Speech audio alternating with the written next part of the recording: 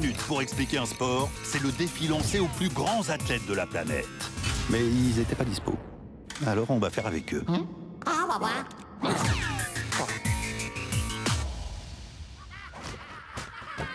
Alors, euh, oui, en escrime, il y a bien trois types d'armes.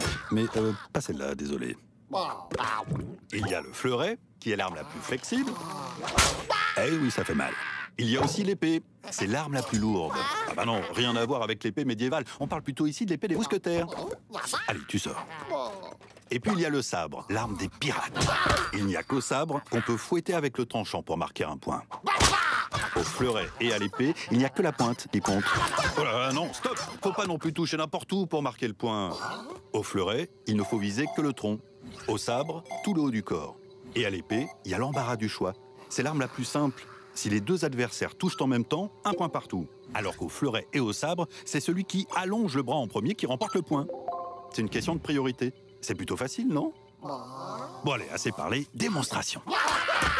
Non, attendez, tout d'abord on allonge le bras. Ensuite, non, j'ai dit pas d'épée médiévale.